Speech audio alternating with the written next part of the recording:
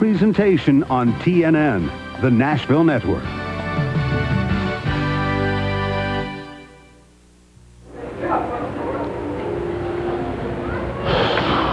Glenn, let's go. Uh, but, buddy, there's only 20 shopping days left till Christmas. And only 75 days till the Daytona 500. Yeah, but you're married. You know, I'm not. I've got a lot of people I got to shop for. With the Featherlite Southwest Tour out at the racetrack and the great action we've seen in the past two weeks, let's get out there and get with it, man. Oh, it's going to be fun. You know, we've seen these guys at Phoenix for the past couple of years. They put on a great show, great drivers. It's going to be a lot of fun. Well, let's go then. We need to get some But work we done. got, but no, we got one man, more stop. on, Just please, one more, buddy. Please, take me but a second. go. Just one more. Mm-hmm. Hey, buddy, you think Mike Joy would like one of these shirts? Glenn, please, let's get to the racetrack. I can't wait to see what Garrett Evans and Ron Hornaday Jr. do this week. After what a great race they put on last week, I cannot wait. How can you keep shopping? Well, that was a nifty pass that Hornaday moved to get around Evans. But, you know, I wonder if Evans is going to try to pay him back this week. We'll never know. We're going to spend the rest of our life in here shopping, it looks like. Okay, buddy, okay.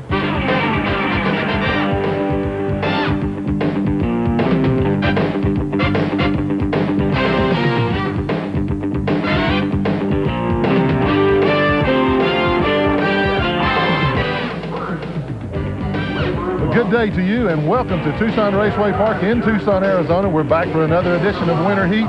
We've finally got some of that nice, warm desert southwest weather that they've been promising since, since we've come out here. We've got it today. It's a little overcast, but it's going to be a great day for racing. Hello, everybody. I'm Glenn Jarrett, filling in for Mike Joy this week, and my shopping partner and broadcast colleague, Buddy Baker's with me here today. And, Buddy, you know, I think that the Southwest Tour cars we're going to see today may be the best suited to this racetrack that we've seen yet. Well, let me look and see if you have any. No, no, no stripes back there. He's the rookie in the booth today, folks. But I tell you what, these race cars are perfect for this uh, 3 8 mile racetrack here at Tucson. 2,900 pounds. They stop when they need to stop. They turn when they need to turn. They accelerate like a tiger. So, hookup is going to be a good show. Well, we saw some great practice times and and exciting pole run for a guy who'd never sat on the pole before. Let's go down and meet him. Ralph Sheheen is taking my place down there today. Ralph is with the pole sitter. That would be Kenny Shepard. And of course, it is a surprise for Kenny Shepard. His best qualifying effort had been a fourth place until today. But the biggest surprise is he had called NASCAR just the other day and said, guys, I'm not coming to Tucson. I don't have a sponsor. Here you are. What happened? Well, we felt it was very important to show up down here. I'm in the middle of negotiations with some major sponsors right now, and I'm searching for more. Uh, I just felt to be cutting my throat by not showing up. My pit crew pulled together. Ron Gross Racing Engines, in addition to help me with engines, helped out with some tires, Fluidyne, all my friends, some uh, Valvoline. Everybody just pulled together. We're down here. We knew we could do well, but we're wanting to really focus on next year and concentrating on winning that championship. One would have to believe, Glenn, that that sponsor right now is wishing he'd stayed with Kenny Shepard. I would think so too, Ralph. Uh, he, he's done a great job here. It's a good thing that they got that thing together to come over here. But the race that I am really wanting to see is the one that Buddy mentioned earlier between Garrett Evans and Ron Hornaday. We saw a great race between them last week, and uh, I just got a feeling that Evans may have something for Hornaday. Well, Ron Hornaday, uh, he was a little aggressive last week, but he did what it took to win the race. I'm sure he didn't mean to do anything to anybody. Garrett Evans, he said he remembers how he got past, so look out. Race drivers never forget when they get past, and particularly how. Let's go back down on the grid. Ralph Sheheen is with Garrett Evans. I always believe, Glenn, that the best thing to do is to ask the driver himself. Okay, Garrett, you got Ron Hornaday coming after you. Replay of last week. Do you get him back? No, we're just out here to run against all these guys. It's going to be a very competitive race. And, and Ron, he didn't do anything really that bad. He's just out here to win and try to win the championship. And uh, we're just going to try to win this race today. Well, if Garrett Evans needs a little help, take a look at the number 64 on the side of his car. If you're into numerology, take note of this. Garrett Evans became the proud father of a fourth baby daughter this past week. Her weight, according to the NASCAR inspector scale, six pounds, four ounces. Maybe a sign. Stay with us. We'll be back to Tucson right after this. Today's exclusive coverage of the NASCAR Winter Heat Series on TNN is brought to you by Chevy Trucks, the most dependable, longest-lasting trucks on the road. And by Pep Boys Automotive Super Center. Welcome back to Tucson Raceway Park for today's edition of Winter Heat. Let's take a look at the starting lineup. The pole sitter on row number one, number 95, Kenny Shepard. On the outside of row one, run, one, Ron Eaton in a Chevrolet.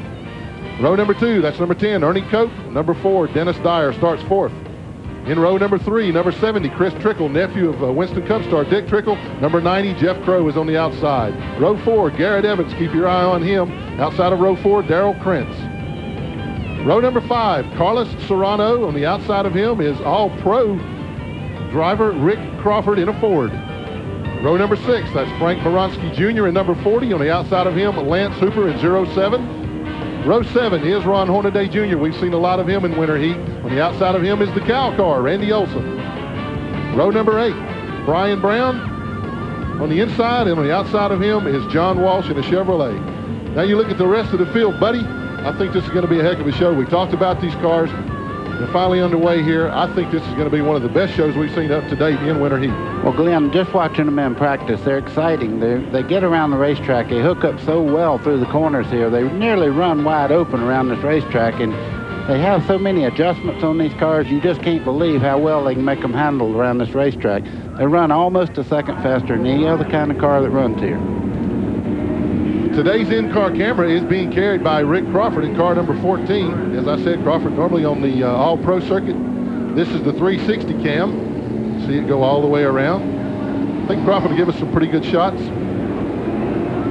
We're going to see the camera that we refer to as the dri driver doggy cam. This is on the driver's side. We've seen some great shots from this camera so far. And let's take a look at the bumper cam. We'll see what's coming up on the rear deck on the back bumper of Rick Crawford. Rick Crawford, speaking of him, uh, buddy, let's go down to uh, to Ralph Sheheen. He's got something on Rick Crawford. Well, Glenn, we talked about the positives that have affected Garrett Evans here with the birth of his daughter Stephanie. Before Rick Crawford's had it a little bit tougher. Upon arriving here in Tucson, the dually that pulls his race car out to Tucson was stolen and then found. That's the good news. It was found. The problem is on the way home, if they want to listen to any music, boys and Rick Crawford's crew are going to have to do a lot of humming because apparently the thieves stripped her down to the ground. Wow, not a very nice welcome to Tucson. Crawford likes to come out here and race. Of course, this is a 200-lap race today. You see the posted awards of $36,350. We have a 26-car starting field course, 200 laps here is 75 miles, and we will have a full field pit stop as we have in the last couple of weeks at the halfway point, 100 laps. They'll red flag the cars, give them about 10 minutes to uh, to work on them, and we'll get underway for the second half of the race. Buddy Crawford, as I said, normally runs in the All-Pro Series. He won one race in the All-Pro Series this week, or this year, but he always likes to come out and run in the Arizona area. Yeah, you don't see many people come from Alabama to run out here in Tucson, but I'll tell you what, every time I've ever seen him, he is very electrifying to watch, and I, I can't wait to see how well he does today. Well, he's a great driver. He starts in 10th position. We're going to get the green flag this time. I'm interested to see how the uh, the new guy, Kenny Shepard, his first pole, handles all that pressure because there's a lot of talented drivers right behind him. We're underway. Kenny Shepard got a good jump there, but you see the old pro coming up eating on the outside there in the seven car. They'll run side by side for a few laps here until the tires get warm and everything. Right now it's a very treacherous time on this racetrack because everything's not exactly like you want it. Well, and things are not exactly the way it was when they qualified. There was a good bit of sunshine, and now we're in an overcast uh, situation, a little bit cooler, so the guys were a little bit concerned about the way their cars might handle, but so far so good, and Shepard has moved by Eaton to take the lead all by himself. See Ernie Cope coming up on the inside trying to take second spot away. Yeah, I don't Cope, know whether he's going to be able to get under Ron Eaton that easily, though. Yeah, Cope is in that uh, multicolored car number 10. You see him right there as he moves under number four, Dennis Dyer. Uh, Cope was here last week, put on a good show as he ran in the Winston West race, and uh, he likes this type of racetrack. Well, for the people out there that hadn't seen a race on, on Tucson Speedway, you can run three wide in the corners here. It's a perfect racetrack for short track racing see a spin there with the 21 car. That's Phil Perry. He spun coming off the four, but he spun down into the inside of the racetrack, so there was no caution flag. He was in no one's way, but he is going to lose another lap because of that. Meantime, Shepard is moving up on him, and Shepard backs off early going into three and allows Ernie Cope to drive right by him. I think that uh, that Kenny may have thought they were going to throw a caution, but they did not. Ernie Cope took advantage of it took the lead away from him. Well, we have a big wreck on the front straightaway here. Well, it all started when I saw car number 25 That's Carlos Serrano, local guy. He got sideways. And then car number 19, that's uh, uh, Tony Toast. Number 32, Chris Shannon. Also, number two, you see 25 there going through the infield. That's one good thing about this racetrack. If you spin down to the inside, you don't hit anything. And oh no, there's our buddy Randy Olson in the cow car, number 17. He sustained a lot of damage. So you can see him pulling out uh, the racetrack, going into the pits right now. I didn't see what happened there, but boy, they, there were four or five cars got together right here in front of us at the start-finish line. We do have another look at it here. Well, what happened here, this was a chain reaction of cars getting together. When anybody really backs off fast here, you can put on the brakes, but just you can see they're kind of collecting each other there. When one car spins, the others are coming so fast that they really can't do anything but kind of touch each other, and it triggered a multi-car spin out there. You see Carlos Serrano, car, car number 25, pulling out. And now here's take a look at what happened. There's Ron Eaton, number seven. Look at the pole sitter, Kenny Shepard. Wow, car number 25. You see the white car there? Excuse me, car number 95, that is Shepard. He spins coming off of turn two, so a lot of action going around the racetrack. And I think most of it, buddy, was just the fact that, was, like you said, it was a chain reaction. Guys just maybe overreacted. Well, what you do a lot of times is the brake is your best friend most of the time, but on these short tracks, everybody's backing the throttle so quick that you really have to be careful. We'll be back to continue the action here at Tucson Raceway Park. Stay tuned. We'll be back in a moment.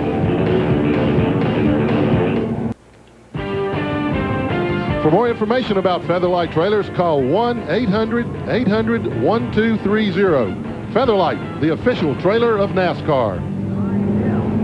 Welcome back once again to Tucson. We're about ready to uh, restart the race. Buddy, you've got a list of the cars that were involved in that crash. Who were they? No, I do not have a list, Glenn. Uh, let's see. The 25 car of Serrano. Uh, well, also number two, Bill Lawrence. Number 32, Chris Shannon. Number 19, Tony Toast and number 10, Ernie Cope. And we also saw the uh, uh, Kenny Shepard, the pole sitter, spin back there. Uh, he's back in the field. He did not lose a lap, did not have to go to the pits, but uh, a lot of cars out early here. Let's go down to Ralph now for a report from the pits. Well, you can see the work going on Randy Olson's cow car, and Randy is standing here with me. Randy, what took place from your perspective? Well, a couple cars had some kind of problem in front of me, and I just got collected up into the deal. I think someone actually spilled some oil on the track, and the car started sliding around in it had a big wreck. To update you on some of the other cars that you mentioned, Ernie Cope has been in and out of the back paddock area. Carlos Serrano has been in and out as well, as has Bill Lawrence. So all of those cars are about ready to go. You can see the work on Randy Olson's car is going to take a little longer. Well, we have our first five cars here. Ron Eaton's leading right now. Dennis Dyer is running second. Jeff Crow is running third.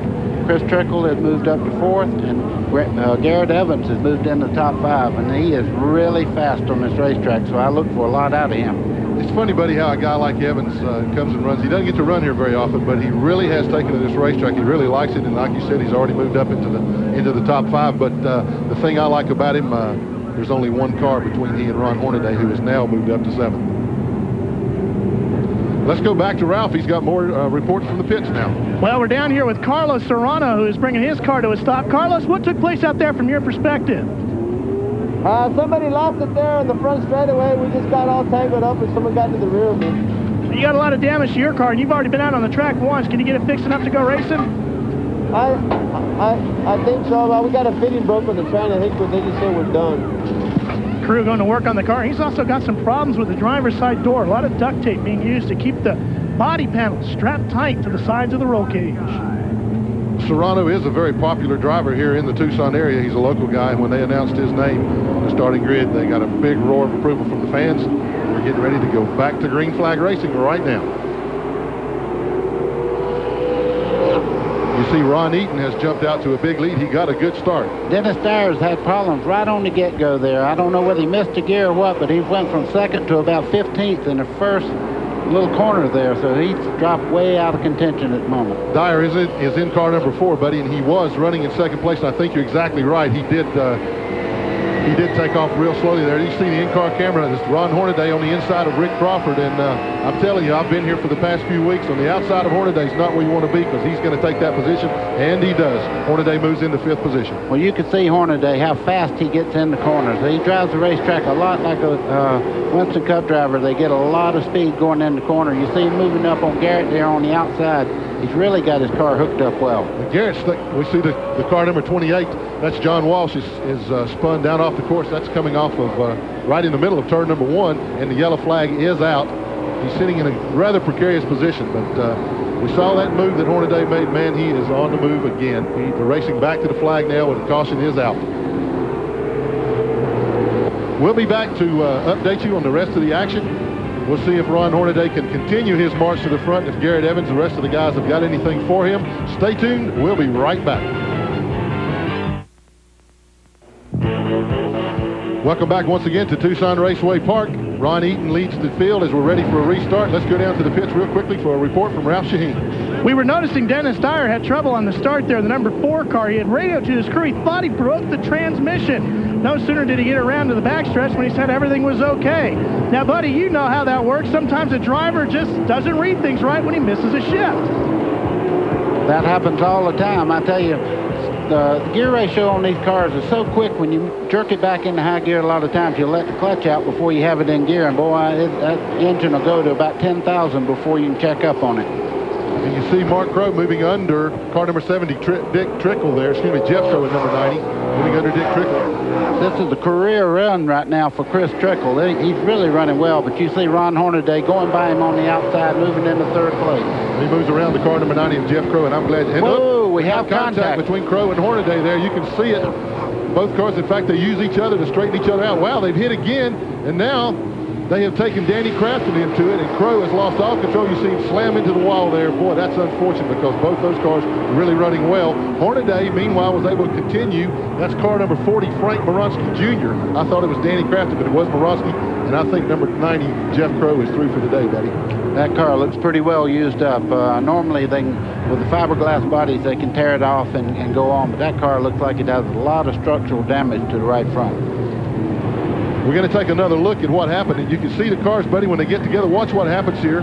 Okay, Hornaday turns down here. He's trying to get under Chris Trickle. They make contact there. And when the 90 car got up in there with him like that, now he's straightening him up, but he's doing a lot of damage that left front corner also on uh, Ron Hornaday's car. Almost like the cars were hooked together, then they came apart, then they came back together again. And boy, that the uh, 40 car came across in front of Crow there. That's what took the front end off, took all his steering away and knocked him slam into the wall. Tough break for uh, Jeff Crow. He had a great run going, a good qualifying speed, but uh, I believe he's through for today. Once again, take another look. You can see him get together. Look how far sideways Ron Hornaday is there. He's completely 90 degrees around. I can't believe that he got it, saved it, but had Crow not been there, I don't think he would have, buddy. No, he'd already, he had started to spin all the way around when the 90 car got into him, but you, uh, that's a pretty hard lick. That don't look like he's going very fast there, but you go into a concrete wall, it don't matter if you're not running at 10 miles an hour. That's a hard lick. Look at Hornaday there. He seems to be okay, but the left front fender is definitely down on the tire. And another look at car number 90 of Jeff Crow. It's going to take a while to sort these guys out and get them off the racetrack. We're going to take a break while they do that. Stay tuned. We'll be back in a moment with more action.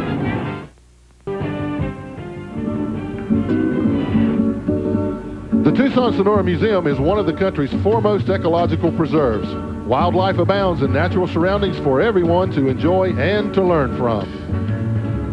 Those guys look like they were having fun, buddy. a little bit of change. You know, I mentioned on that last restart, and what a great start that Ron Eaton got in. Meanwhile, here comes one of the drivers. You can see he is not uh, not too happy. Let's go down to Ralph Sheheen. He's going to talk to this guy. Well, this would be Jeff Crow. Jeff, what took place?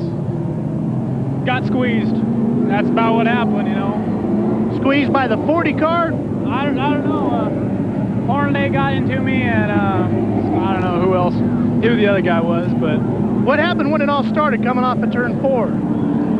Just, we are trying to, you know, everyone's trying to get in the front, you know, and I just got stuck in the middle, you know. I was all trying to get to the front too, but the way it goes, I guess. A lot of people driving with a lot of enthusiasm, huh? Yeah, everyone wants to get to the front.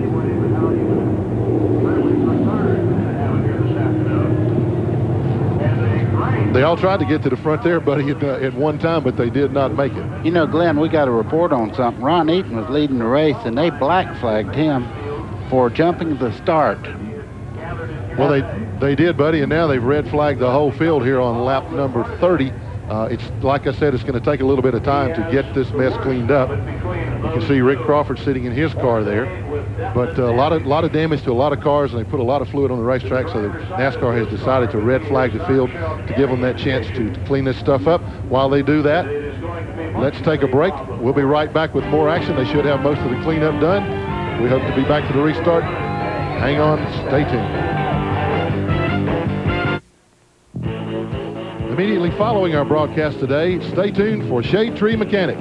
This week, Dave and Sam will show you how to rebuild an engine and help you with lower end assemblies. That's tonight at 7 p.m. Eastern on TNN, the Nashville Network. Once again, we have stopped the field here, or NASCAR has stopped the field. We're under red flag while the cleanup continues. The cars will be, uh, in fact, they're going to start their engines here very shortly. NASCAR has told us that uh, we'll, we'll refire shortly here. Here's what happened. Take a look again at what happened, buddy. Boy, Ron Hornaday just cut down just a little bit. The 90 car got into him and crossed up, and this starts a chain reaction. When they hit again here, you see the 40 car there, he gets really creamed and sends him right up into the wall backwards. Here comes Crow into the wall almost head on. At the end of his day, I'm pretty sure. Well, I, I think so. Let's take one more look at it. You can see Hornaday trying to get under car number 70. That's Chris Trickle. He thought that he had cleared Crow, but he did not. He got down into him. It turned him sideways. You know, Hornaday came out pretty lucky in this whole deal, but watch number 40. You see him trying to sneak by on the inside. That's Frank Moronsky. He almost makes it to a Hornaday and Crow. Tangle again. That catches Moronsky sends him up into the wall. He takes a hard hit also. Glenn, I think we're going to have to wait and see how Ron Hornaday's car handles after that lick. That was a pretty solid lick to the left front corner.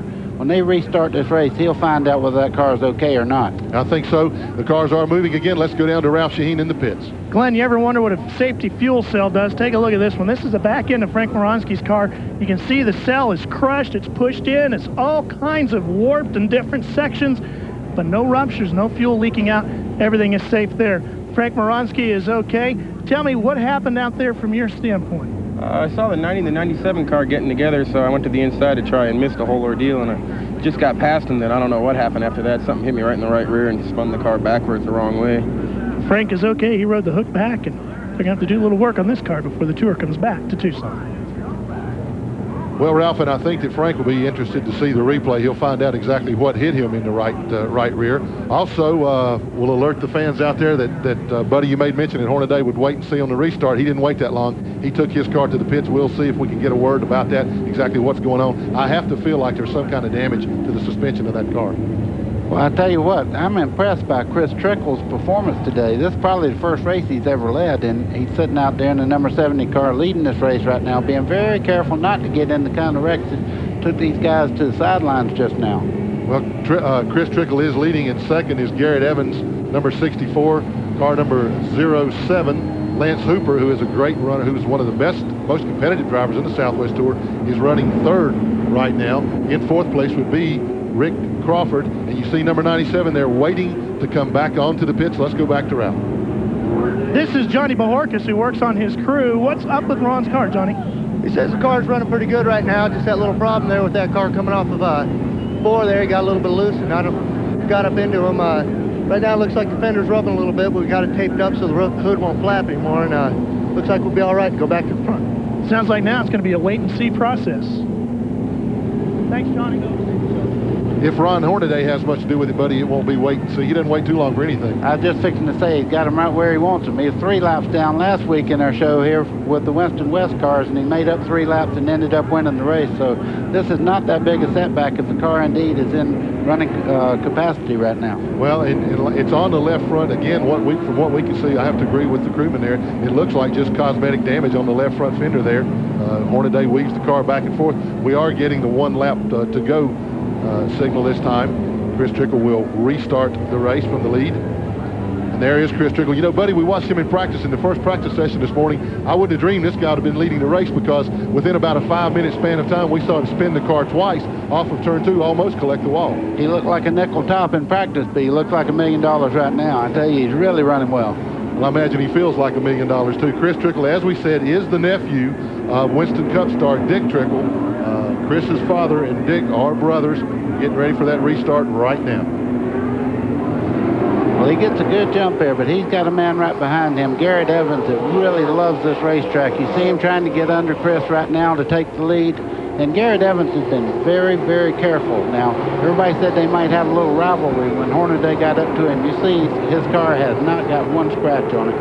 And he's just biding his time. He knows right now that Ron Hornaday's got to come from the rear and try to get back to the lead. He's right up there where it counts right now. Look how low on the racetrack Garrett Evans can run his car. He's very, very smooth. Very rarely ever see Garrett get the car out of shape. Awfully easy to do that down on the bottom of this racetrack. Well, he really wants to go Winston Cup racing someday. He said that was the biggest dream he ever want, wanted to do in his life was drive one race where his dad could see him in a Winston Cup race. I think he'll make it. The man on the move right now, car number 97, Ron Hornaday. How many times in the last couple of weeks, buddy, have we seen this guy come from the back of the pack? You see him moving up on car number 10. That's Ernie Cope trying to take a position away from him.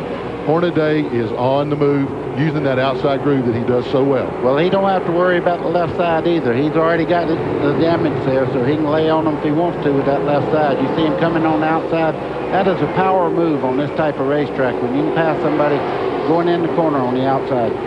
Buddy, he almost makes it look too easy. Look, I mean, he just, the guys that see him coming, they give him all kinds of room. He really isn't having any trouble right now. I thought maybe some of the cars in the back of the pack would hold him up, but that hasn't been the case. Well, a lot of people don't know that Ron Hornaday Jr. builds a lot of chassis that these guys are racing against him right here.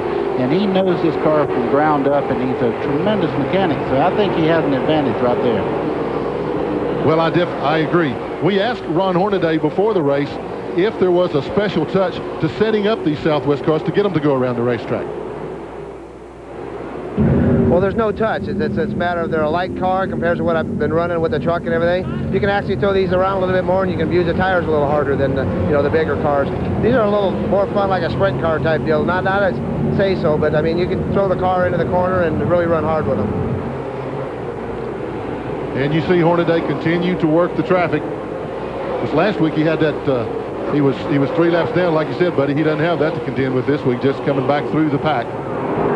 That's what Bobby Lyons there in the 44 car. He's won several races here. Uh, Hornaday goes by him. I tell you right now, Ron Hornaday is definitely the fastest car out there, but he's got to make it to the front and then try to get by Garrett Evans and Chris uh, Trickle here. You, these guys are really running well right now. Well, Trickle doing an awfully good job. He continues to hold off Garrett Evans. Evans continues to put the pressure on him. You can see, looks to me like though he might be biding his time a little bit, uh, just waiting perhaps for Chris for Chris Trickle to make another mistake. You see, see right now what Chris is doing. He's running the preferred line through these corners. He's got that race car dialed in where it feels the best to him. So right now, Garrett Evans has got to try to find some way to find the fault in how he's getting through the corners to make this move and he almost did it right there. He crossed it up just a little bit, and you can see Garrett Evans move right in on the back bumper again. Well, Chris Trickle, as I said, doing a good job. Chris is based in Las Vegas, away from the racing center. We asked him, Chris, how tough is it racing with your base in Las Vegas? Um, it's not too difficult. The, the tracks, the closest track we have from Vegas besides Vegas is four hours away, which makes it pretty tough. But the biggest thing is uh, if we were if we were back in the Midwest or something, we could race two and three times a week rather than opposed just on one a week. You know, one race per weekend. Sometimes not even that. You know, sometimes we don't even get that much. And uh, the the experience factor is the biggest the biggest difference. I'd like to be just get more track time on the track and well, and while he was talking, you saw Garrett Evans make that pass there. You see car number 32, Chris Shannon. He spun coming off of turn two. He has got the car going again, and there was no caution. Yeah, you see Shannon's got a lot of damage there. It looked like he might have run in the back of somebody. The right front fender was kind of bowed up, but they did not throw the caution because he was out of harm's way. Once, once again, there's Ron Hornaday moving up on the uh, fourth and fifth place cars. He has moved up into sixth now. I believe he is on the move, buddy. Those cars won't hold him up long. He may make it three wide. Look at him. He's very bottom of the racetrack, and he gets in the speedy drive. that guy makes John Dillinger look like a, like a kindergarten robber. I'm going to tell you right now, this guy is brave. He don't mind putting that car anywhere he has to put it to try to get that spot. no, he certainly doesn't. Ralph Sheheen? Glenn, you know, I was talking with Ron Hornaday before the start of the race today, and his driving style is very similar to what you would see on a dirt track. He barrels down the straightaway like he's doing now at the front stretch, and as he comes down to turn one, he literally flicks the car into the corner. And right there at the center of the turn, he says he hopes the car hooks up, catches, and throws him back down the backstretch. So it's a more of a dirt track style of driving. He says the G's and the corners are pretty tremendous. It's just like if you're driving down the interstate, you come to a corner and you blow a tire and the car just hooks on you. he don't mind taking that spot when he gets there. I tell you, what he's doing though, that looks like he's just too aggressive, but what he's doing, he's making sure he's by, and then he pulls directly over. He hadn't hit anybody when he starts to pass on when he's on the bottom like that. He clears them just enough, but he does take that preferred line away from them where they have to kind of worry about whether he's going to be fast enough for them not to run in back of him. You see that Ron Hornaday has moved from the rear of the field back up into the top five. It took him less than 15 laps to do that. Glenn, that left front is rubbing just a little bit. You can see it hazing just a little bit when he goes through the corner there when it's turned left, but I don't believe it's going to be enough to make him blow a tire out. I don't think it'll cause him any problems, buddy. A great battle going on for sixth place between number four, that's Dennis Dyer, and number 34, Doug McCowan. Now, Doug normally runs up front in car number 34 there. He had a bad qualifying effort, but he has moved his way through the field, now battling for fifth position. Well, McCowan uh, is really super good on these type of racetracks, and you see him taking that bottom line right now. That's going to be very, very hard to get by Dyer on the inside like that. You can run as fast, but you can't get the momentum off the corner that the outside car does. Let me correct myself. That battle is for sixth position. Ron Hornaday is currently in the fifth position.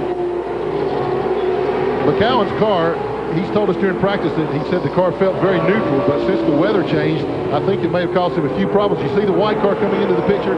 That's Kenny Shepard. He was the pole sitter. Remember, he spun, had to go back in the pack. He is now ready to challenge for sixth and seventh position also. Well, Glenn, he fell way back when he did spin there, and you see him starting to work his way back up there. He's, just, he's got himself in good contention right now. Caution flag. Oh, we got...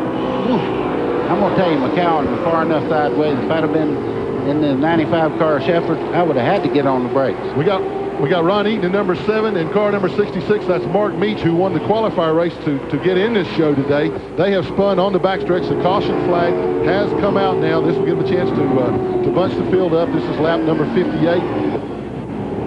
I don't think that Garrett Evans wanted to see that caution flag. Garrett continues to lead here. We'll be back to continue further action from Tucson Raceway Park. A lot of excitement going on today. Stay tuned. We'll be right back. And you see the fans here at Tucson Raceway Park. They're happy to be here, as are we. Caution laps continue. Got the in-car camera here. You see uh, car number 19. That's uh, what's Tony Toast coming up. Watch this close call. That's Garrett Evans in number 64. This is what caused the caution. Right before we went to break, you see number 66, Mark Creech, and number 7, Ron Eaton. Garrett Evans just barely cleared those guys. That's twice, and we're back underway in green flag racing.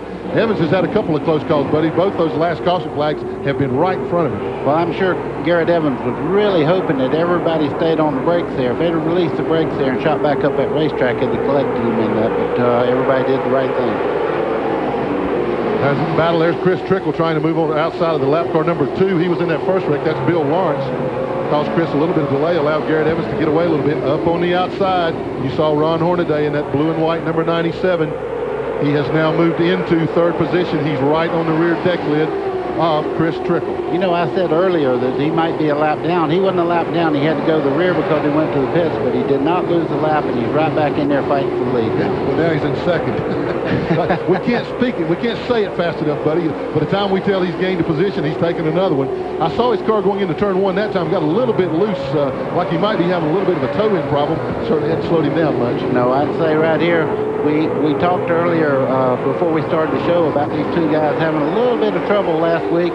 Uh, Garrett Evans and uh, Ron Hornaday Jr., they're running first and second right now, and it's going to be interesting when they get together here. And here you see the battle between Doug McCowan, number 34, and number 14, Rick Crawford. And with the in-car camera from Crawford. Crawford's car looked to be a little bit loose coming off of turn four that time, buddy. Look how low the quarter panels on these cars are. They're almost dragging. You can see from our camera there, when they went through the corner there, the McCowan's car was almost dragging. You can see the right side is right down on the table. And that battle is for fifth position. Crawford doing a good job of holding him off. McCowan takes another run at him underneath.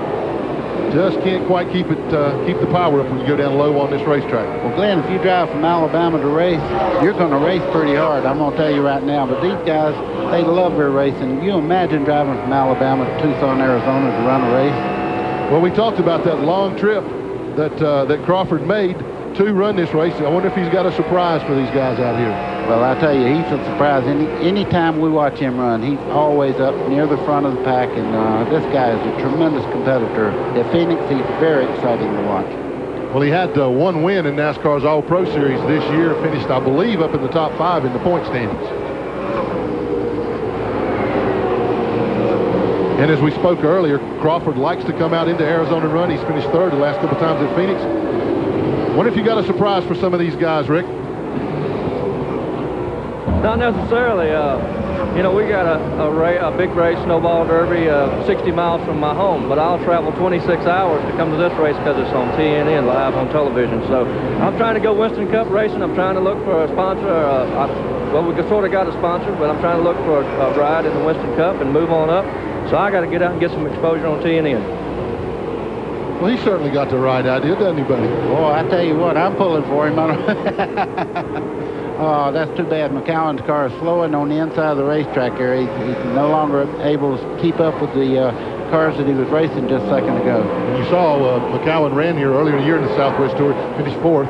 Let's go back to the leaders, Garrett Evans with number 97, Mr. Hornaday, right on his bumper. I'm not sure Garrett Evans is going to be able to hold Ron Hornaday off. I tell you what, Ron Hornaday's getting in the corner about a full car length deeper than anybody on the racetrack. Yellow flag is out. We have trouble on the front straightaway.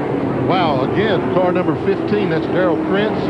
Uh, also, car number 28 you see sitting there on the front stretch, that's John Walsh. There was one other car involved. He spun and went on, but the two cars with damage, again, car number 15, that's Daryl Krentz, and 28, John Walsh. A little bit of a fire.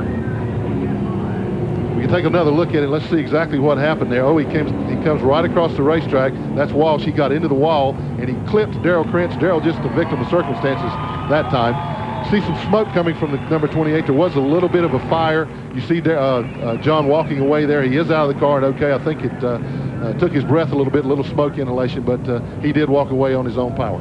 Yeah, you can see him kind of rubbing his left hand there. Uh, when you hit the wall like that, nine out of ten times the wall will snatch the steering wheel in your hand, and sometimes it'll make you feel like you broke your thumb. Well, let's take advantage of this caution period. We'll be back with more action from the NASCAR Featherlite Southwest Tour. Stay tuned. We'll be back in a moment. Stay with us today. We've got a great evening of motorsports ahead on NHRA Today, the 1994 NHRA Pro Stock Motorcycle Year in Review with highlights of Dave Schultz. And on Inside Winston Cup, hosted by Ned Jarrett, I know that guy, this week featuring an interview with Rookie of the Year Jeff Burton and an interview with Dick Trickle, who will talk about his new sponsor for the 1995 season. We're back here at Tucson Raceway Park. There's the driver. That's John Walsh, who was the driver of car number 28. We saw him get out before we went to break. A little bit of a burn maybe on his left hand there. We saw him putting some ointment on him. He seems to be okay, though, uh, evidently just a superficial burn. Uh, John's okay. He seems sitting on the wall there. I can't say the same for his race car, though. It doesn't look too okay. Pretty well used up. Uh, right front fender's still okay, but from uh, about midway of the front fender across there, it's pretty well gone. There's nothing left there. A lot of damage. There certainly is. The whole front end torn off of that car. The top five after lap 75 is uh, Garrett Evans. Ron Hornaday is in second. Chris Trickle's in third. Kevin Harvick is in the uh, 55 car in fourth place. And fifth is Rick Crawford. Well, at the conclusion of today's Featherlite Southwest Tour feature, we will be presenting the Pep Boys Quality Pit Crew of Pit Crew of the Race Award. Of course, the pit crews always vie for that, and uh, been some pretty happy recipients of that. So far, I've had the pleasure of, of giving those guys that $500 check, and they like that. Well, Glenn, you've been in a race race car before. One thing race car drivers are fond of is checks and, and green. Legal tender. Well, we saw car number 34, Doug McCowan, make a pit stop earlier on. Let's go down to Ralph, find out what happened. Well, the problem for the number 34 was ignition. He uh, thought he had a problem with that. He switched the box over, and everything is okay now for car number 34. The engine came right back to life, and Doug McCowan's in pretty good shape now. Well, with the exception of being a few laps down, McCowan's an awfully good uh, competitor, buddy. I hate to see him have that trouble. I also, uh, uh before that break, car number 44, Bob Lyons, who won a race here earlier in the year. He had to go back to the pits, had rear problems. He has since come back out. Glenn, you see him wiggling the wheel back and forth here. You pick up a lot of rubber and debris off the racetrack, and it's very important to get it off your tires before you go back. But you know, we were talking to some of the guys, and they run as little as 18 pounds of air pressure in the left side and somewhere between 25 and 30 pounds on the right side. So they're about flat on the left side. When they jerk the car back, you see them get real sideways and jump back on the left side of those tires it's very critical to be able to hold that car because the air pressure is so low. Accommodations are provided by the Viscount Suites Hotel. The Viscount Suites are the place to stay in, stay in Tucson. Call 1-800-527-9666 for reservation and more information. Buddy, you were talking about the tires there. One thing we might want to point out, too, that we are seeing Hoosier and Goodyear tires in use here today. Uh, we talked to some of the guys earlier on, and uh, didn't seem to re really be uh, a whole lot of favoritism, except a couple of the guys told us that the, the Hoosiers might hold their speed a little bit longer during the race, but I don't think we've seen that to be the case so far. Well, it was very hot when they were trying out this morning. It was like in the middle 70s, and now it's overcast here. It's starting to cool off quite a bit, and uh, what was good earlier today may not be quite as well now.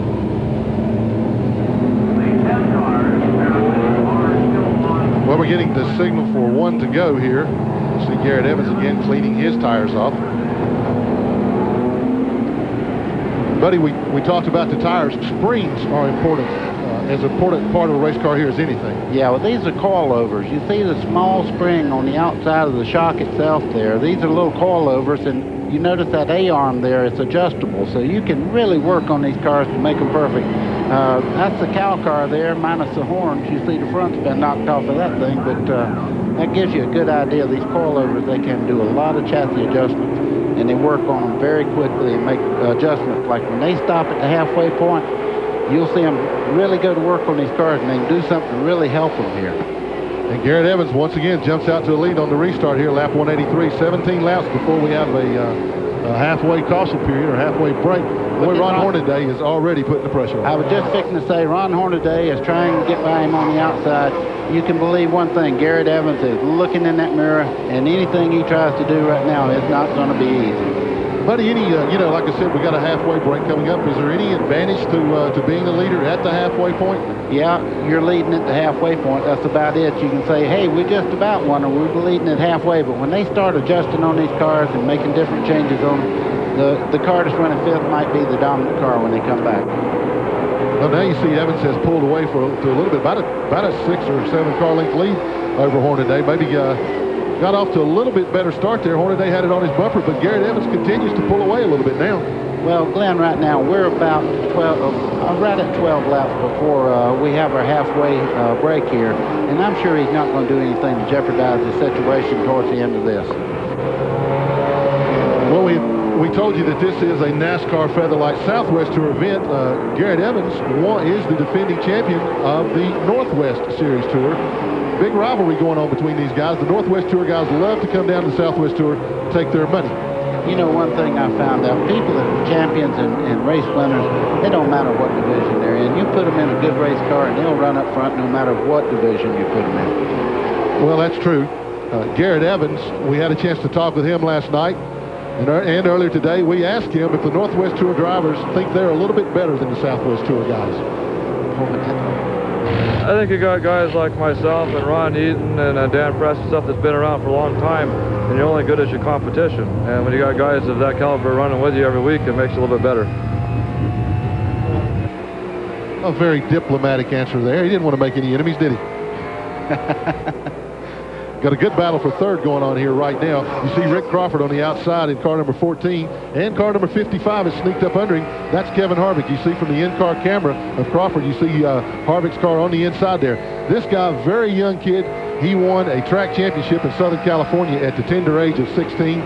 We have a caution flag out now. You see car number 21, that's uh, Chris Perry, or excuse me, Phil Perry, has nailed the wall and has come to a stop. That looks like he might have cut a tire. He's sitting in a very, very strange place to have any other thing happen, but maybe have a tire go flat in the middle part of the corner. And just kind of looks like he went up there. There's not a lot of damage to the right side, or don't appear to be. No, it doesn't. You can't see uh, too much sheet metal damage from this angle. He's, he's sitting right against the wall. Of course, he's already lost a lap, uh, at least one lap under this uh, uh, caution period. And I think he was involved in one of those earlier cautions, so he was a couple of laps down. And we just have information uh, from Ralph Sheheen that he did cut a tire and has come to stop against the wall. You see the NASCAR officials have run up there. I guess they're going to have to get the tow truck. Yeah, I see it coming out now to pull him away. Glenn, you see these guys right here. they're the heroes of racing. They run out there with the fire extinguisher, make sure these guys are okay. You see him out there, now he's directing the guy back into the pit area. And as Perry pulls his car number 21 away from the wall, we're going to take a break. We'll be back for more action. We've got a few more laps before the halfway break. Stay tuned. We'll be back in a moment. And the field has just taken the green flag to restart the race. We're working lap number 97 right now. We've just been told by NASCAR that they will run to lap 101 before we have the halftime break. Normally that would have come at lap 100. But you see Garrett Evans continues to hold off car number 97, Ron Hornaday. And Evans gets a little high and gives Hornaday some room underneath.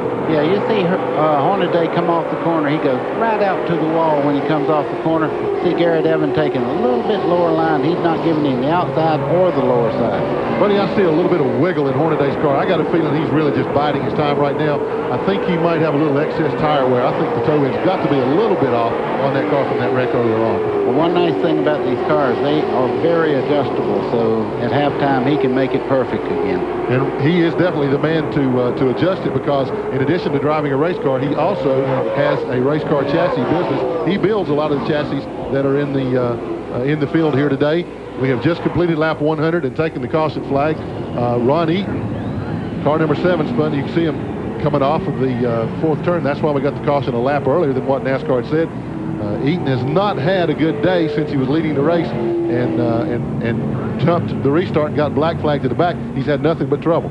Well, I tell you, working your way back up through the crowd like that, you really have to be careful because you can make one mistake in your history. Well, we have reached the lap 101 uh, portion of the race. You see the red flag flying there.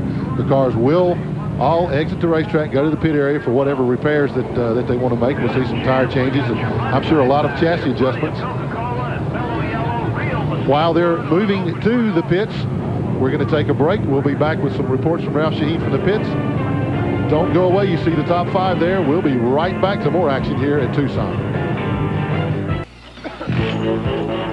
Well, welcome back to Tucson Raceway Park in Tucson, Arizona, as we are contesting the Featherlite Southwest Tour, the NASCAR Southwest Tour stock cars. You are looking live at Garrett Evans' machine. This is a car that has led a good chunk of the first half of the race.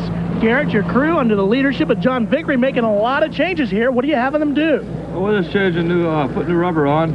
Goodyear tires are working real good for us, and hopefully bringing home the second 100. It was pretty wild that first 100 laps as far as the amount of action between the drivers. Do you expect the same in the second half here?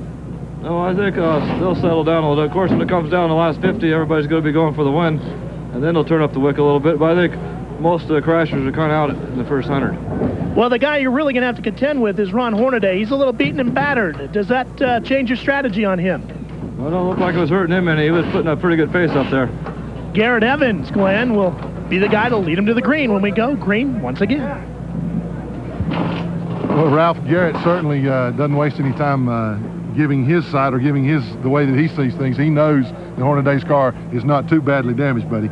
Well, that's exactly right. And Ron Hornaday, you can bet one thing about Garrett Evans. He's looking in the mirror as much as he is out the windshield right now because he knows one of the most aggressive drivers out here is right on his bumper in second place. I think it's fun when, when we talk to Evans. Uh, we got to, to uh, uh, see him a little bit last night and, you know, away from the racetrack, a different setting. Really uh, cool, low-key kind of guy. He doesn't seem to get too excited about anything. Well, he's pretty talkative at night, but when he uh, starts mashing the accelerator on this race car, he starts giving direct answers, real fast answers, but that's kind of what a real race car driver does. They really tune in when it's time to tune in, and uh, last night you couldn't hardly shut him up, and today it's one answer, and that's it. well, he's got a little bit more on his mind today. Let's go back down to the pits with Ralph Sheheen. Well, you can see crew chief Bill Sedgwick for Ron Hornaday's crew has really got the crew working feverishly on this one. In fact, Ron is talking to some of the crew members right now. Ron, this car has been beaten and battered pretty good here in the first 100 laps. How's she handling? Well, I tell you, the car is just great. I mean, we did a fine job. We uh, we worked uh, with the chassis all day, and we just missed qualifying. I really drove it in too hard qualifying, but uh, you know, we had some modifications in the beginning of this thing, and uh, we got back there. I knew the car was fast. I just got to drive the wheels off, and uh, maybe I'll get a break this half and just run up front with Garrett, and hopefully save the tires. I didn't have nothing for him there because I just burned the tires off getting back to the front. All right, now that you've caught him, and like you're gonna, like you said, you're gonna have fresh tires on the machine. How do you get around him and hold him off in the final hundred? I'll let you know on lap 90. I really don't know. He's a, he's a witty guy. Uh, he's been doing this a long time. We've been racing a long time together. So we'll go out there and do the best we can. Uh, I'm real happy the way the thing's running, so I think we got something for him. She might not look real pretty, gentlemen, but she is flying. The number 97 machine of Ron Hornaday Jr. Well, he doesn't seem too awfully concerned, does he, buddy? No, Ron Hornaday does never seem too concerned, but he's a great race car driver, and Garrett Evans is very aware of, of his uh, talents and everything. And right now, they're both, it's going to be a chess match. But don't forget all these other people back here. Rick Crawford, he may move up here and give them a real challenge. I wouldn't count any, anybody in the top 10. No, there's certainly a lot of good quality, capable cars uh, behind them. Let's take one more look at that crash that uh, Ron Hornaday was involved in. Now, you see him move on number 90 there. That's Jeff Crow. He and Crow get together. Now look how this straightens Hornaday's car back up. They seem to be okay right now. And you see number 40, Koronsky, move under him right there. He gets clipped. Hornaday and Crow go back together, and then Jeff Crow goes right across the racetrack into the wall, puts an end to his day. Luckiest guy in the world right there with Ron Hornaday Jr. that he did not get hurt worse than he did. All right, we'll be back for more coverage on halftime here at Tucson Raceway Park. Stay tuned. We'll be back in a moment. And we're back once again to Tucson Raceway Park. Of course, today's event is the NASCAR Southwest Featherlite Tour 200. We're in the halftime break right now. Caution car awaits the uh, field's return. Before the uh, Southwest Tour race started today, we had the local guys, the Grand American Modifieds, running a 30-lap feature, and, buddy, they put on quite a show. Well, they did, Glenn. These cars run on 8-inch tires, which are 2 inches narrower than the Winston Cup cars run on, and they really get loose. After about four or five laps, these cars started getting really sideways. Yeah, girly boy. Great drivers, though. They were able to maintain these cars and put on a heck of a show. Well, you see the uh, that's the pole sitter there, number one, Jeff Gibson getting sideways and getting into the leader and the eventual winner, number 28, Carl Trimmer.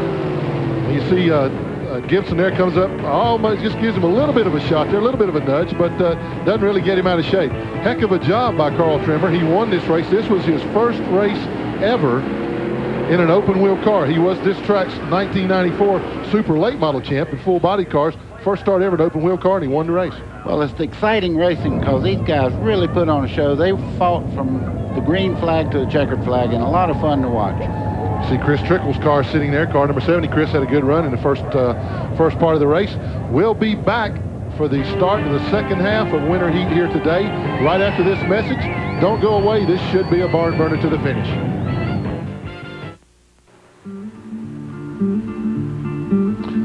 If you're like me and tired of the winter cold, Tucson has five world-class resorts that feature golf and tennis.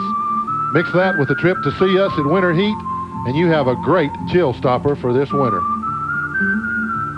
That's pretty stuff, isn't it, buddy? Boy, oh boy.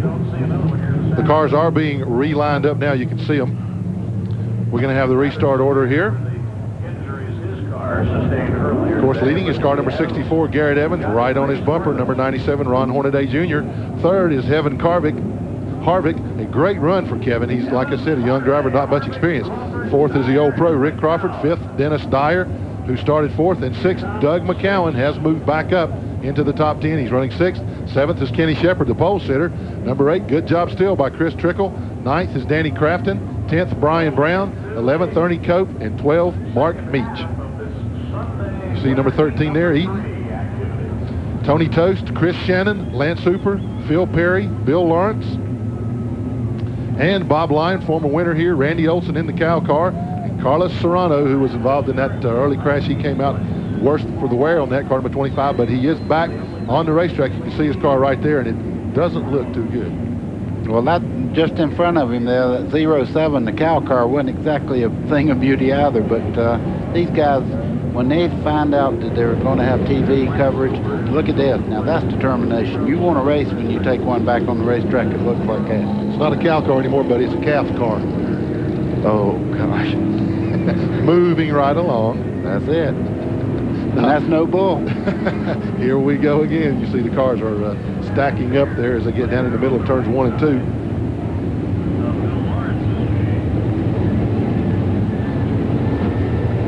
See the beautiful mountains there off in, uh, in the, uh, the distance. Next week on Winter Heat, here again from Tucson Raceway Park in Tucson, Arizona, Next Sunday, December 11th, live at 5 p.m. Eastern, we'll see the NASCAR Super Trucks by Craftsman again. We just got word that our old buddy Winston Cup driver Ken Schrader will be here to run that truck race. Buddy. There was never a doubt in my mind if they raced more than two or three times that Kenny Schrader would be here. He loves to race. He probably run, he's the most active race car driver in the United States without a doubt. He runs four or five times a week, and I tell you what, he's going to love this truck, the Super Truck Series, because it is so much fun. Well, he's had a few weeks off from the Winston Cup circuit now. He's got the banquet behind him. He went up on stage and made his talk got his money, so he's ready to spend some of it now. Come out here in the, in the warm desert southwest and race a truck. If they just had two hot dogs and a, and a good cold beer, Kenny Schrader would be here. I tell you what, he loves to race. It'll be interesting to see how uh, how he gets along with Rick Carelli, Ron Hornaday, and all the rest of the guys in the Super Truck Series. We're about ready to go racing. You see the official, the flagman, giving the one-to-go signal. The cars are bunched up once again, cleaning off the tires, making sure that everything is just so. Buddy, we're going to find out real quickly if Hornaday had any uh, adjustments to make to the car, if he made those, and if Garrett Evans can uh, can hold him off. Let's go back to Ralph right quick. You know, I got to go with Ron Hornaday on this one, gentlemen. I think with the added experience of Bill Sedgwick, who's also a former West Coast standout, I think those two really know how to set this car up right for this racetrack. And I think Ron Hornaday's got him right where he wants him at this point. Garrett Evans restarts the field on lap 102. Takes his car safely down in the middle of the racetrack. He was going to make Hornaday make a move, and you see Ron slip up to the outside just a little there. Look, what they're doing right now is just kind of, this is a sparring match right now. You see Hornaday on the bottom side, he moves up, he takes the spot right away. Now, just before they went away to break, when they were on those used tires, they couldn't do that to Garrett Evans, but he made that pass look pretty easy. Well, instead of a sparring match, it turned to be, out to be a knockout punch by Hornaday. Man, he drove by him with uh, almost no effort, buddy. Well, what looks easy sometimes isn't that easy, but uh, right behind them is another group that's really fighting it out. You see Kevin Har Harvick there that's running very well today, and uh, Dennis Dyer right in the four car uh, running right behind him. Those guys are duked it out. Rick Crawford is the number 14 car there, the second one in that group. They have battled, I mean, from the time the green flag come out to this point in the race. Well, we've got real close battling all over the racetrack right now, and uh, that battle for second, third, fourth, and fifth that we're looking at right there, you, you see the, uh, the real pretty day-glow orange, black, and yellow car of Dennis Dyer, car number four. Now, Dennis started in fourth. He is currently running in the fifth position right behind Rick Crawford, who's carrying the camera car, who's giving us that shot. You know, that bumper cam, I know for the people back home it's a lot of fun to see, but every time I looked at the crowd like that, I was in big trouble. That means I was looking through the windshield the wrong way down the straightaway, and I was in big trouble. Yeah, we didn't, we didn't have any car cameras back then. If you saw that, you were in deep stuff. Again, Kevin Harvick in car number 55 there, who is running third right ahead of Rick Crawford at 14. Harvick is doing, I think, a tremendous job. Very, very little experience, and uh, I think that kid's going to be a racer. Already got a track championship under his belt. He won that, like I said earlier, at the tender age of 15. Good job by Kevin today. And you see Rick Crawford right there from great state of Alabama. He's, he drove 2,600 miles to run this race, and he's going to fight his way back up toward the front as he possibly can. He didn't come out here to run third or fourth here. No, not that's that's pretty much any good racer will always tell you. You ask your crew, you know, with 15 laps to go on a lot of races you say, should I take a chance of winning or, or sit right here in second? They said, we didn't come to run second. Well, you see car number four there, Dennis Dyer, as I said, was in fifth spot. Car number 95 is the pole sitter. That's Kenny Shepard, and he's right down on the bottom. They've got those fresh tires on there. Those guys think they can just pass them down on the apron, but uh, couldn't pull it off that time. But Shepard has fought his way back through the field, moved back into the sixth position. See the car bobbling just a little bit there. He's still got a little bit of a loose condition. You'll have to watch where he runs on the racetrack because he might her if he really tries to run too low on the racetrack it's awfully easy to, to want to do that here, isn't it, buddy? You know, we, we got to run some laps in the trucks, and uh, the racetrack is so inviting, so conducive of trying to pull it down low, just like Shepard does right there. You can pull up under the guy, but you lose the speed coming off the turn. Well, that was a good example. He drove in, looked like he had almost a car length lead in the center part of the corner. When he picked the throttle up there, he couldn't get back on the throttle because the car was trying to slide out on him. And he's still determined to make it work down there. He's right down on the bottom. You could almost park a semi between those two guys, the way uh, the distance between them in the turns. That might be the move he was looking for. You see the car skid out just a little bit there, and, and Dyer is really making him earn that spot. If he gets it, he's going to have to earn it because he's not going to give it to him. Well, I just wonder, you know, doing this this early on, he's on fresh tires right now, but is that not going to hurt Shepherd later on in the race using his tires up? It's certainly not going to help him because down there, this left bank, you see the car really break loose coming off that corner there. He does that about four or five more times. He's going to generate about 15 degrees extra heat in the right front over the right, I mean in the right rear rather than the right front. You see the view from outside of uh, Rick Crawford's car again. Again, Crawford running in the fourth position right now. And as the battle continues between Dyer and Shepard, you can see the distance that it allows Rick Crawford to pull away from those two. They were right on his bumper. Now back to that battle. It takes an awful lot of discipline to make that pass down low.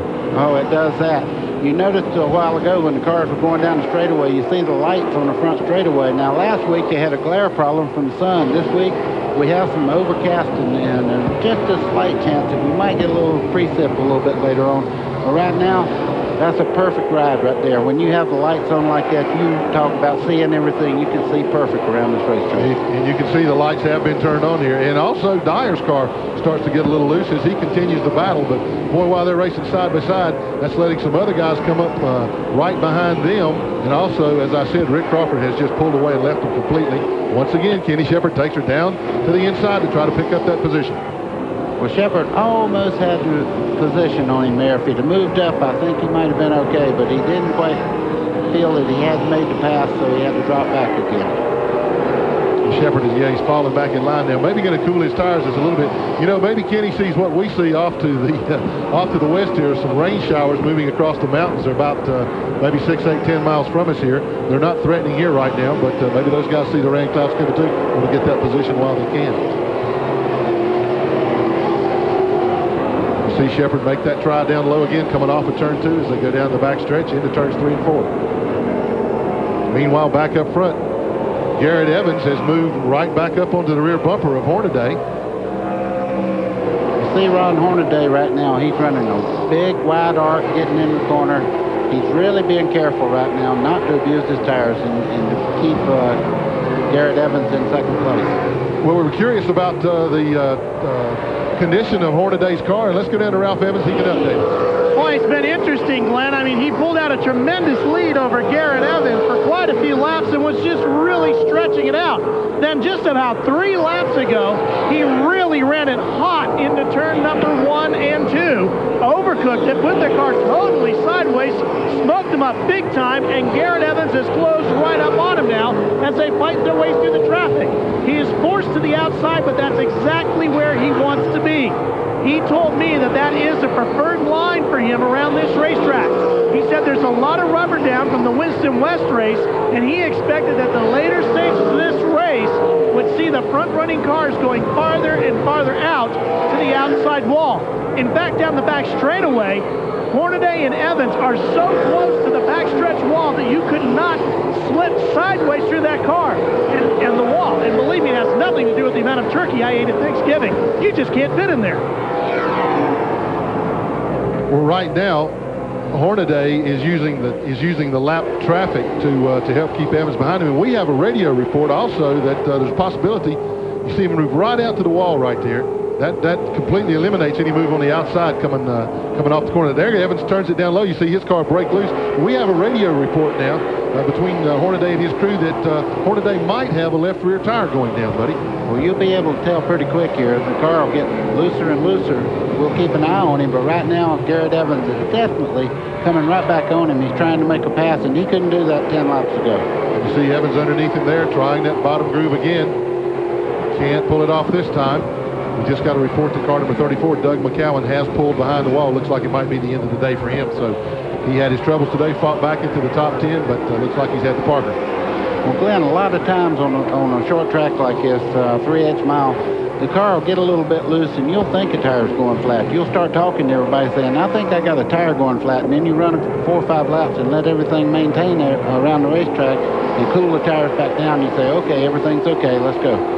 You know, it's possible he could have maybe hit some fluid or something on the racetrack when he turned it sideways down there, and then he, he drove hard when Evans got up under him a couple of laps there. Like you say, heated the tires up a little. He uh, seems to be running a little better line right now take a look at the car. I, I haven't seen it kick out too awfully much, so uh, uh, looks like it may be just a little bit loose getting in the middle there.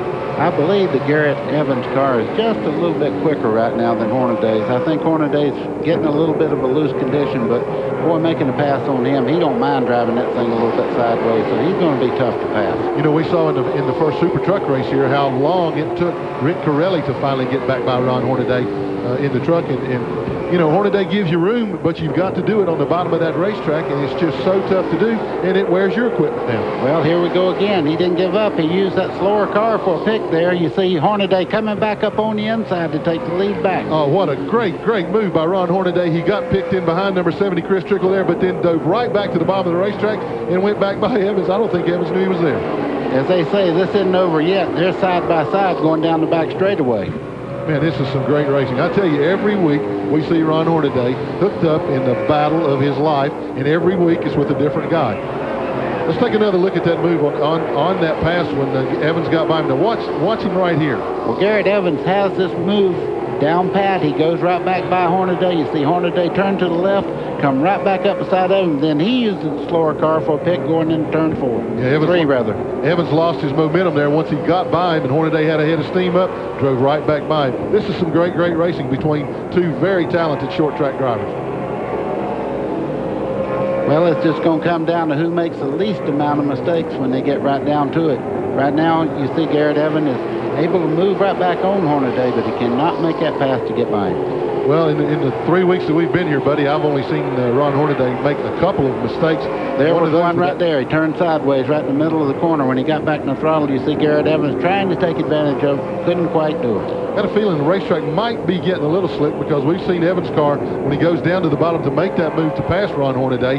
He just can't quite get the traction that he got earlier on. Pretty slick out there. Well, right now, he, he does not want to make a mistake like he did last week against Hornaday. He went in so hard behind him that he actually looped the car around and cost his chance of winning the race. So uh, right now, he's being very careful. And as I say that, he pulls right up beside him.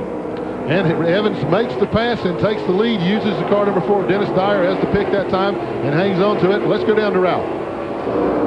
Glenn, we are high up in the crew chief's grandstand. This is on the back stretch here at Tucson. This is Bill Sedgwick, crew chief for Ron Hornaday. What is the problem with the car? Uh, we're not sure at the moment right now. It looked like a stagger problem. I think the car loosened up on him a little bit. He's compensating right now in the turns. How's he doing that? Can you tell? Well, I really can't tell you that. Know, I don't know. Ron's just got a, a knack on driving the car. You could compensate with an ill-handling car. Well, buddy, you know all about driving ill-handling cars. If you can win or finish well with an ill-handling car, that is the mark of a truly great race car driver. I would say right now what Ron Hornaday has to do is run as smooth as he possibly can and try to get another chance to get beside of Garrett Evans going in the corner and making a move on him. But it's a game right now that they're using these slower cars for picks getting in the corner. You can hang him up like that, you can get a tremendous drive by him, and that's what Garrett Evans has done right now. Ron Hornaday's going to have to drive his heart out to catch him back. Look at Garrett Evans working the traffic right now, and in that traffic, he is starting to pull away from Hornaday. He's pulled away to about a five or six car length lead. We'll be back to bring you more exciting action between these two guys and the rest of the field. Take a look at the top five there. Don't go away. We'll be right back to settle this thing. And we're back at Tucson Raceway Park. Garrett Evans, car number 64, continues to lead Ron Hornaday, the blue and white car who has been right on his bumper rails. Evans has been right on his throughout most of the day. I want to correct one thing. When Ralph did the interview with uh, uh, with Hornaday's crew, we put up on the screen that that was Bill Sedgwick. That was not. That was Sammy Casales, one of the crew members. So we want to apologize for that. But uh, we're sorry, Mrs. Sedgwick. We know that that wasn't your husband. Uh, we have corrected it now. At least we hope so. You know, Glenn, while we were up, we got to spin down the front straightaway and yellow flags out here. Number 27, Brian Brown. He's back underway, but the yellow is out. We didn't waste any time getting her uh, straightened out headed back in the right direction, but uh, he did spin right off before it was pretty close to the uh, the groove. You know, they run so low here that uh, he came to a stop right off the groove on the bottom of the racetrack. NASCAR did go ahead and throw a caution flag. This will bunch the field back up again. And while this green flag racing has been going on, remember we took the green at lap 102. We're now on lap 155, and Garrett Evans has lapped the fifth place car. That's that's uh, that's pretty heady stuff. Yeah, but look right behind him. There's a guy coming up just to see if he looks okay. That's Ron pull, Hornaday. He pulls up beside him and says, hey, uh, just in case you forgot, Garrett, I'm still right here. We only have three cars on the lead lap. Those would be Garrett Evans, Ron Hornaday, and number 55, the youngster, Kevin Harvick. So those are the only three cars on the lead lap.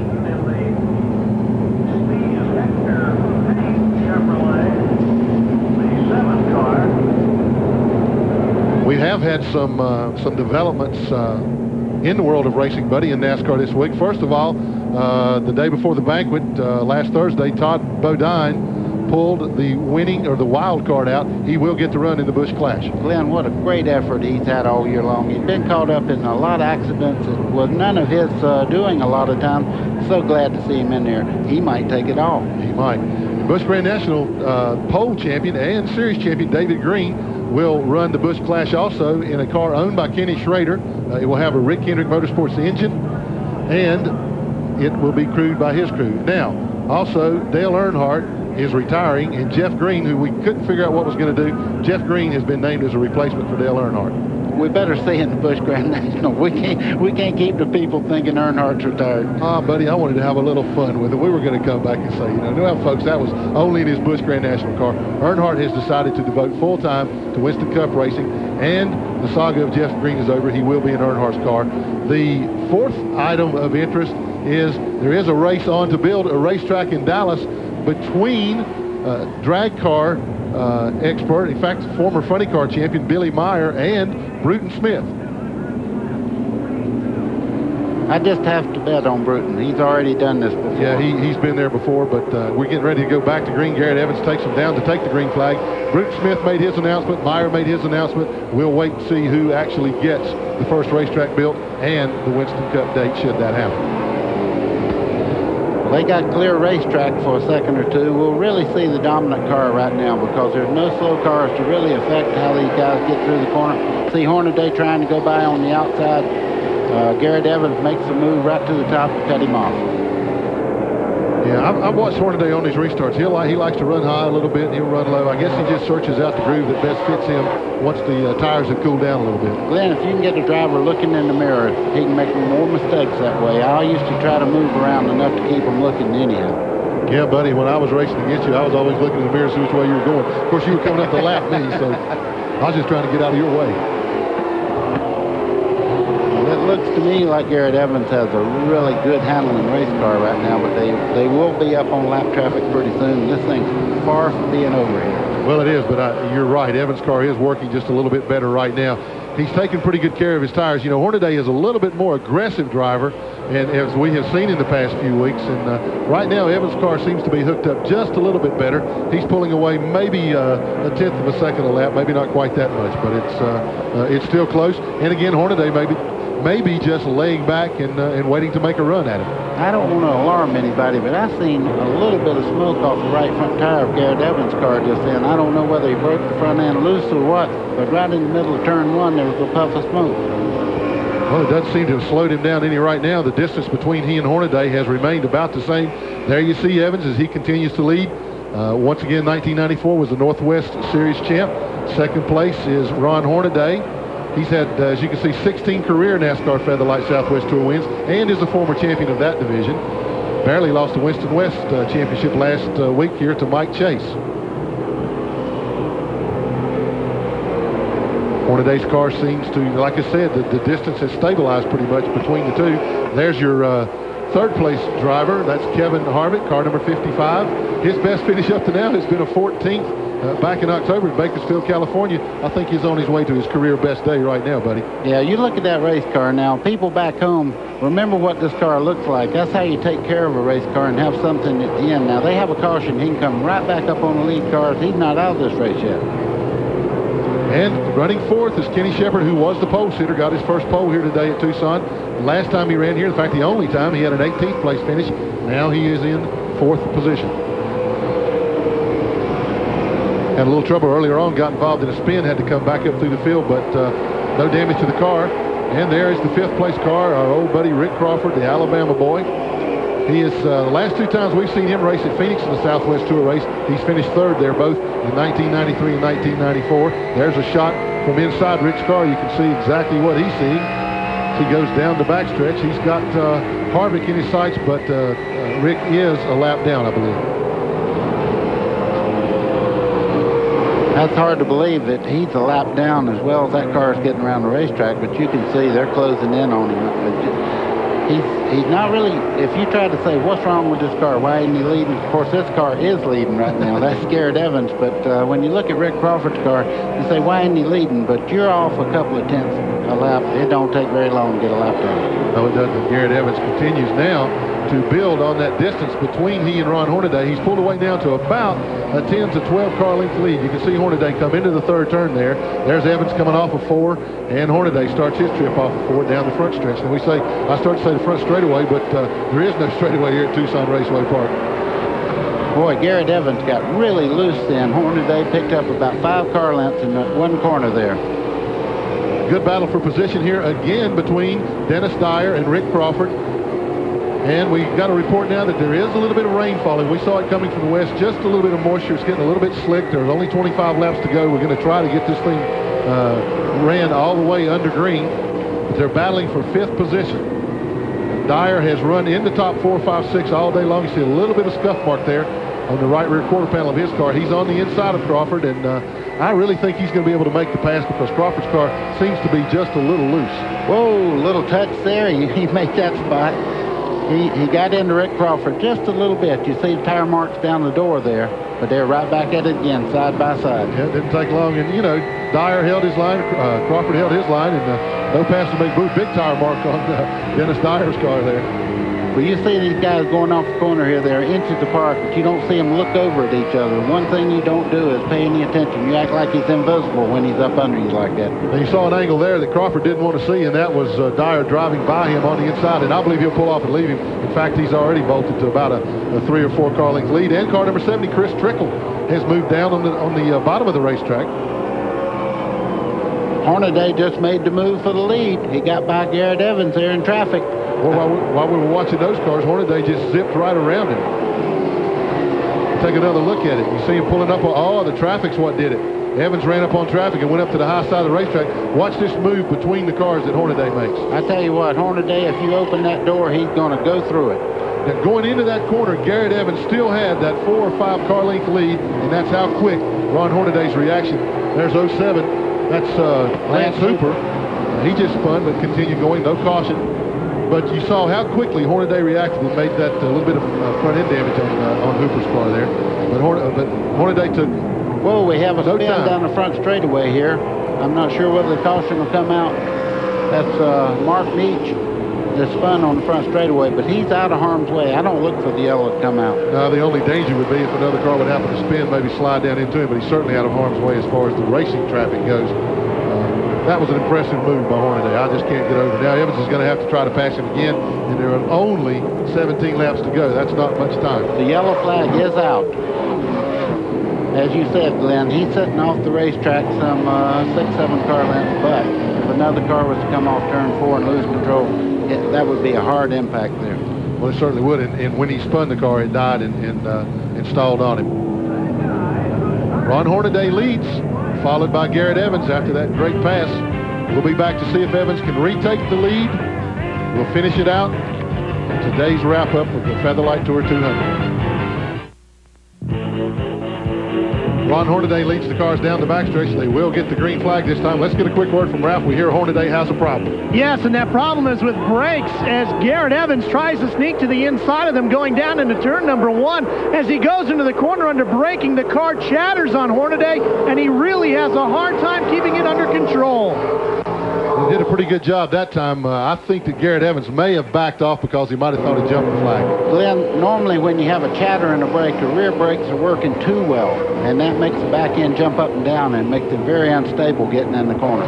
We'll see if uh, Garrett Evans is able to take care of that. You saw that move that Evans put on to Hornaday there, and I thought that he might get a flag from NASCAR about that move, but he backed off, and uh, Hornaday was able to maintain the lead, so uh, no harm, no foul. Only 10 laps to go now. The distance, and you see Garrett really move up in the corners. That's where his car seems to be the strongest, is right in the middle of the corners. Hornaday seems to get in a little better. Well, what Hornaday is doing right now is trying to use the brakes as easy as he can, getting in the corner and then picking up the throttle nice and easy so he can get off the corner with Garrett Evans. Garrett Evans making a move. See how the back end jumped out just momentarily and he lost about two car lengths. Looked like he had a good run in there, buddy, and he just turned his side. Well, he does have a good run this time as they start off turn two and go down the backstretch. Evans dives to the inside, and he takes the position. Watch Hornaday try to come back on the inside. Boy, if he... That's what Earnhardt is very famous for. Is that, oh, me, they're going at it like we knew they would. what a great move. Evans tried to turn it way below the racetrack that time. It's kind of, well, if you can do it, I can do it too, but he couldn't quite do it. What great racing these two guys have put on here today. Let me tell you, folks, it's hard to see a super speedway race when you see action like that. I'm going to tell you this, 3 8 mile, good a racing you'll ever see. Absolutely. Hornaday got in a little wide that time, but Evans was not able to take advantage of it. Hey, it ain't over yet. Here comes Evans again on the inside. Six laps to go, and there's still a lot of time there. Garrett Evans moves down to the bottom again. He just can't seem to hold the power, can't, can't get enough power back in the car coming off the corners to keep that lead that he gets going into the corner. You know, Glenn, Hornaday got up beside of him with just a couple of laps to go last week, and, and he gave him a break just then. He let him go. There's only four laps to go now. Watch how close they get to the wall. There's no way that Evans can get by him on the outside running that close. He backs off a little to make another run. They'll get the three lap to go sign this time for the flag when they come by. It's going to be awfully tough, buddy. I don't know if Evans has got enough time now. Well, you see Hornaday starting to diamond the corner. He's going in, letting the back end go up in the middle part of the corner. It's going to be tough for Garrett Evans to make that pass, but don't count him out, folks. He's a, he's a driver. Well, I wonder, you know, he got uh, bumped a little bit, rubbed a little bit by Hornaday last week and changed the lead late in the race. I wonder if he might uh, think about payback time. I don't think so. He's fighting for everything he can get right now. The car's a little bit loose coming up off the corner for Garrett Evans. His only chance right now, white flag coming out. Well, this is the Bell lap. This is the one we've been waiting on. They're running into just a little bit of traffic as they as they move around number 19, Tony Toast there. He is not a factor. Evans is going to have to take him coming off of four. They're in the middle of three and four right now. I don't believe he's going to be able to make it. Power move, man. He tried to pass him on the outside. Ron Hornaday wins. Held him off again. Another victory for Ron Hornaday. What a great, great race that was. My hat's off to Garrett Evans. It would have been real easy just to drive into Hornaday and turn him around there on the last lap. Good, clean racing. I like it. Oh, I love it too, and I'm going to take my hat off to Ron Hornaday. Last week came back from three laps down to win. This week, in a major crash along the front stretch here, still held the car under him. It looked like that the left front fender was going to fall off the thing, and I know he had a little bit of handling problems with it, a brake problem later on in the race, still managed to win the race. Ron Hornaday, another great job. We'll be back to talk to Ron Hornaday. When we come back, Ralph will make his way over into it and interview the, uh, the victor. Seen a lot of Ron Hornaday. We're going to see him again. Stay tuned. We'll be back. We're back at Tucson Raceway Park where Ron Hornaday has just won again. No, it's not a rerun. It's Ron Hornaday again, this time in the Southwest Tour car. He's won in just about everything you can imagine. Third in the truck, first in the Winston West, and now first in the Southwest Tour race. You see Hornaday's car sitting down in victory lane right now. But let's take a look at what he did when he came off of turn four to pull the car down into victory lane. Check him out, buddy. You think he's happy? Oh, man, I tell you what. You tell me winning's not everything. it was for Ron Hornaday today. There's Ron. Let's go down to Ralph. Well, we're down here with Ron Hornaday. He's got his wife down here in Victory Circle with him and a big trophy for us. Tell me how you held off Garrett Evans. I couldn't tell you I held him off. I didn't know where he was at. I just knew when I drove underneath him last week, I knew he was going to do the same to me. So the last five laps, I just blocked the bottom and hook like heck this thing turned. And I just want to thank everybody that came aboard this weekend. Uh, I mean, the Goodyear tires and, you know, Spears Manufacturing giving me this car, come out here with my own crew and do what we did. It's actually great. Were you surprised he didn't muscle by you then? Oh, I was waiting for it. It's one of them deals, you know, we already got a beaten, battered car, and like I took a lot of real estate last week on him, and I was waiting for him to take a lot of real estate the weather came and started to sprinkle a little bit, so there was no bottom groove, so it's kind of when you went in, it slid up. Um, I don't know. I just got to thank everybody. You know, we got brakes that stayed under this thing all day long. Uh, you know, uh, just everything was great, and uh, I couldn't ask for anything better. Well, your crew chief, Sammy Gonzalez, told us that you had tire problems, you had brake problems, you had all kinds of things going wrong. How was it driving the car itself? Well, the biggest deal is, is uh, earlier in the day I got sideways qualifying. I locked the brakes up and I broke a caliper off. I Was getting to the rotor real bad. We jury rigged one up on the rear of this thing and it started hitting about lap 50. So I had to go in the corner about half the, the race without using the brakes. And once I got it in there where I can drive in straight and use all the front brake, the thing was just awesome. You used up all of the racetrack through the corners, especially coming down the back straightaway. It looked like there wasn't more than maybe a half an inch at times between you and the wall. Was that the preferred line or was that, of course, due to the fact of the way the car was handled? Well, we tightened it up. We didn't think the weather was going to get this cool. We tightened it up a little bit. I had a little push in the middle, and I was sliding coming off. Uh, I probably hit the wall about six, seven times today, and I thought I broke a, I blew a right rear tire because it really got loose about five laps in a row.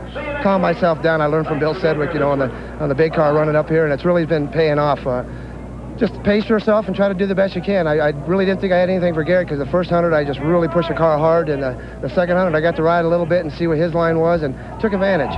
Well, gentlemen, we talked about making a tough car work is the sign of a true champion. Ron Hornaday proved he is a champion here today. He certainly did. He's proven that several weeks in a row now. We're going to go to break. You look at the top five, Hornaday, Evans, Harvick, Shepard, and Chris Trickle. Hang on, we'll be right back with more from Tucson Raceway Park. Today's exclusive coverage of the NASCAR Winter Heat Series on TNN has been brought to you by Pep Boys Automotive Supercenter and by Chevy Trucks, the most dependable, longest-lasting trucks on the road. Well, to the victors go the spoils. The awards and presentations continue down in Victory Lane. Let's go back to Ralph Sheheen. Well, at this time, we get to present Sammy Gonzalez a check for $500 on behalf of all the Pep Boys stores across the nation for the Pep Boys Quality Pit Crew Award on behalf of your truly great dedication to good service here today.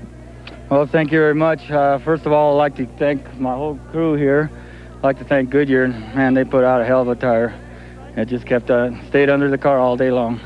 Sammy Gonzalez, our Pep Boys Quality Pit Crew Award for round three. And I like that. He told it exactly like he sees it.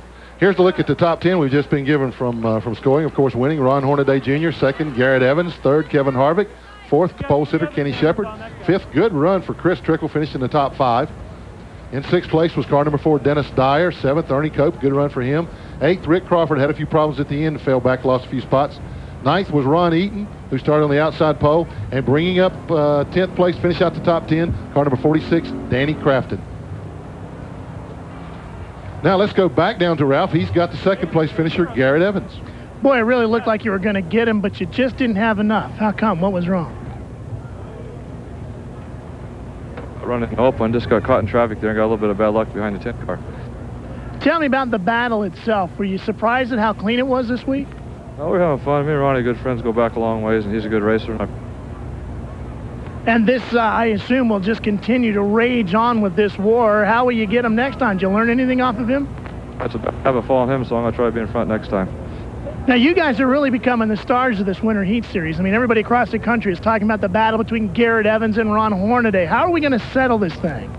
Well, so far, he's he's two for two, so I'm going to have to win a couple to even up a little bit, and then we'll go for best three out of four. Sounds like they got a couple of weeks left to go, gentlemen. Well, as usual, Garrett Evans being a good sport about it all, got a smiling face there. But uh, I tell you, he's put on a heck of a show the last couple of weeks, as has uh, Ron Hornaday. I'll tell you, these guys have really done a good job, buddy. Yes, yes. Super Trucks next week, folks. Be here. P.J. Jones, Rick Carelli, Ron Hornaday, Gary Collins, Walker Evans, Mike Skinner, Kenny Schrader. Man. Well, I can't wait to see Schrader uh, rub fenders with uh, Carelli, Hornaday, Collins, all those guys. And I got to wonder, too, if, uh, you know, we talked to Garrett Evans about this a little bit last night. He says they may be thinking about building a truck. I don't think it'll be ready for next week, but uh, I think we'll see him in a truck uh, before this thing's over. Whatever he does, he's going to be pretty good, I'll tell you that.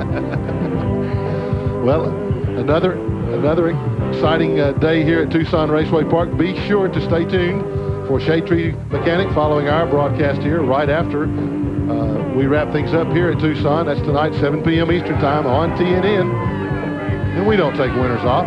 They're exactly right.